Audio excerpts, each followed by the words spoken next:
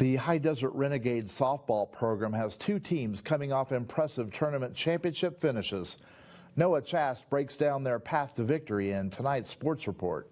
The 16 18U Renegades finished second at the Legacy Sports Fast Pitch Tournament in Redding, California, while the 14U team they finished first. The 18-16U High Desert Renegades finished with a 4-1 record, outscoring opponents 45 to 10.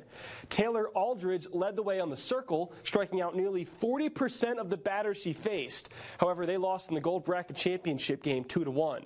The 14U team beat Foothill Gold Griffin 6 to nothing in the finals. That team gave the Renegades their only loss earlier in this tournament. However, in the final, the Renegades had 12 hits and were stellar defensively.